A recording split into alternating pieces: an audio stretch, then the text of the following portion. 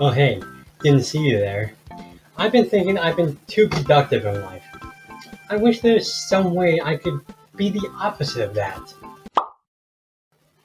Ah. Anime. The lifeblood of every degenerate and every Midwestern parent's greatest fear. I don't understand any of this! Anime is one of the current visual mediums that has gained a ton of attention ever since its conception and its influence in the West, making it one of the art industry's surging powerhouses. That's due in part with how it's marketed and how it's perceived in the general public. Like, what is anime? Well, it originated from Japan. And that's all you need to know. To see, Japan's track record with being strange is a speedrun. And I love it. What else could you find? A cynical zombie being forced to turn into a chainsaw-wielding, pink-filled magical girl with an armor-wearing necromancer and a voluptuous ninja. I would keep an eye on Croatia if I were you. It's this absurdity that make people double take on anime as a whole. Even the more basic concepts of people punching each other can be made into a great spectacle when put in the hands of great storytellers and a land of rich lore. I mean, really think about it. Where does the process of making anime even begin? Because I have some questions for whoever made this. Now it could be argued that anime began the moment animation itself began. After all, the word anime means animation in Japan. But that's another can of worms for another day. But the exact origins of anime seems to vary from source to source. The general consensus is that the first anime commercially distributed was a short film named Kobo Shingacho Mein no Shippai, released in 1917. Made by Oten Shimokawa, it was filmed with each frame drawn on a chalkboard, but unfortunately there seems to be no existing surviving film. But that same year, another short film was released and was found nearly 90 years later at an antique store. You can find worse things at an antique store. Namakura Katana by Junichi Kochi follows a foolish samurai buying a dull sword and trying to ambush people. And I gotta say, it's a neat little film. You can see early animation tools being used, like this wanderer walk across the Ronin as the Ronin reflectively moves the legs. There's also this unique environment that went into creating a visual personality with no audio. And this new medium will make waves in the new Japanese animation industry, with Koshi Shimokawa and Seitaro Kitayama, being called the fathers of anime. So next time you see this,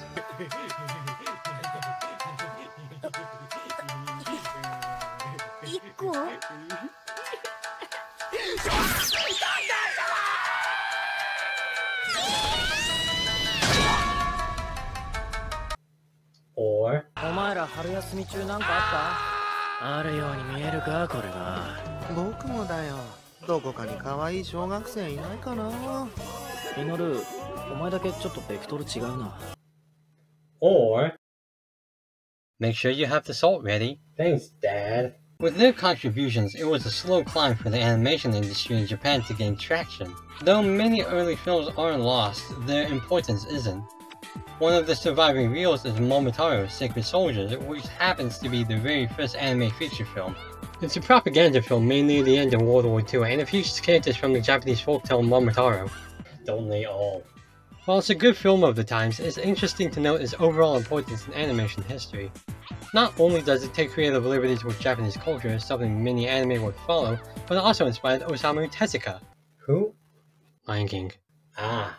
In my opinion, this is where anime shines. Artists and writers embracing their roots to come out with unusual but warm thoughts that show a creative pull towards the ideas in their heritage. It also helps that they serve as their own collective pool for others to get excited and inspired.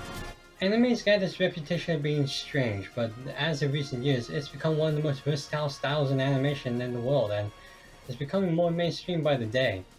It's honestly really cool to see the evolution of anime throughout the years, with its trends, animation styles, studios, and the overall value in the industry as one of Japan's and the world's biggest pop cultural phenomenons. But from an outsider's perspective, it can be dauntingly obtuse to see the typical anime. For many of us, our first anime were among those big names like One Piece, Dragon Ball, Pokemon, but you soon come to realize that that rabbit hole is much deeper and more strange than you'd think. I began fully committing myself to watching anime in 2013, starting with Naruto, Cowboy Bebop, Full Metal Panic, and Is This a Zombie? That rabbit hole is looking a lot like an oil excavation by this point. Yep, among having some of the most notable shows breaking my non-degeneracy virginity, I also fell into this. No soap will clean that way. I tried. The show itself is how I described it earlier, a zombie boy forced into a magical girl position who lives with a necromancer, a ninja, and the girl who forced him to take her place, Jinx and Kingston Sue. And even though it's not good by any means, Is This a Zombie still holds a special place in my heart for being that unique anime experience that led me down the road of highs and and yeah, I should do this time. I find that as you do step into that world of anime, it slowly becomes easier to digest. I think this is because of how so many shows manage to build their worlds in believable, if not bizarre contexts. Among other things, how Japanese culture itself becomes more rooted into pop culture. A good example of this is Mushishi, a story about a traveling mushi expert who goes around helping people with what bugs them. What's a mushi? They're sort of parasitic insect spirits that will harm people if not dealt with correctly.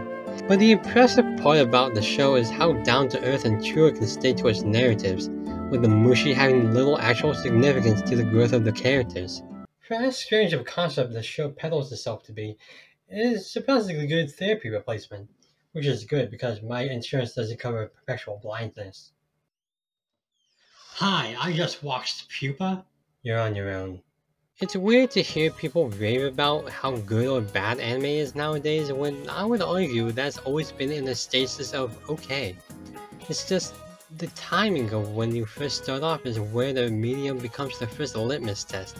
For you, it's either basic or acidic.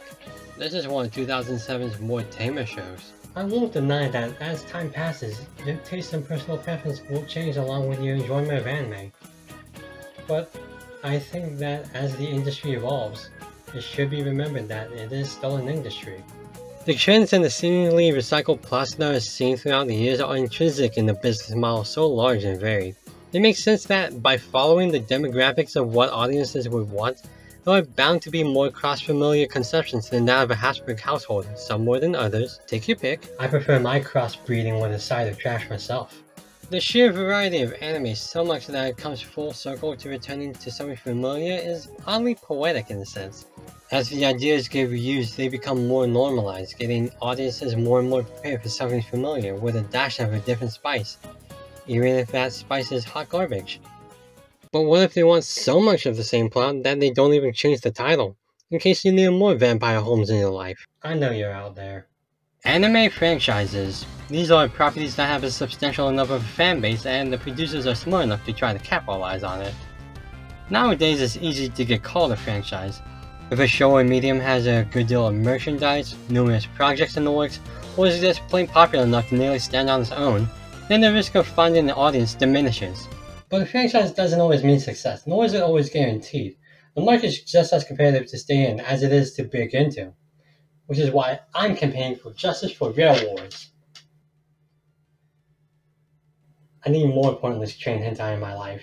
Franchises, whether they're good or not, are just as integral to the evolution of anime as any other form. Not only can they help shape a new idea or style for years to come, they also help thrive the industry as a whole on merch sales, production goals, and even consumer demands to see what the next Naruto's up to.